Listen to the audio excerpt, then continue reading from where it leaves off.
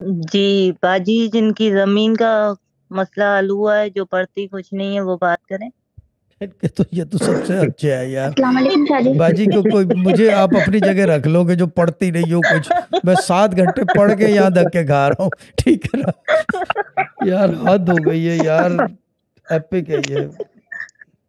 जी, बाजी बोलें। जी, बोलें। अस्सलाम वालेकुम शादी, अस्सलाम वालेकुम वालेकुम भाई। सलाम, वालेकुम सलाम, वालेकुम सलाम।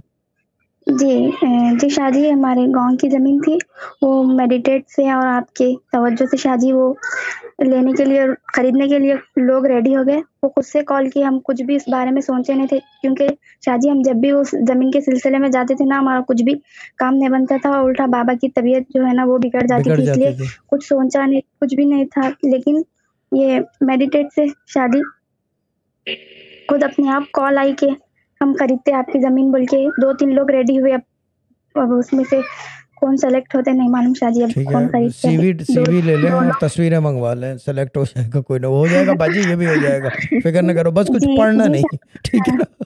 जी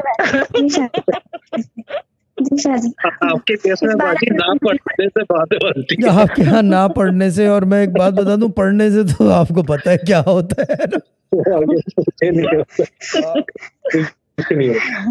जी, जी शादी है बाजी। मतलब हम सोचे भी नहीं थे इस बारे में क्योंकि अभी तो तबीयत बेहतरी पे जा रही तो अभी वो ज़मीनों का वो कुछ भी नहीं सोचे थे शादी लेकिन खुद ब खुद अपने आप ये बात सामने आई कि खरीदते करते बोल के फिर उसके बाद आप ही आपको भी बोले तो ठीक है बोले शादी तो अब रेडी हो गए समझो। ठीक है बाजी, अल्लाह ताला सलामत आगे भी तवज्जो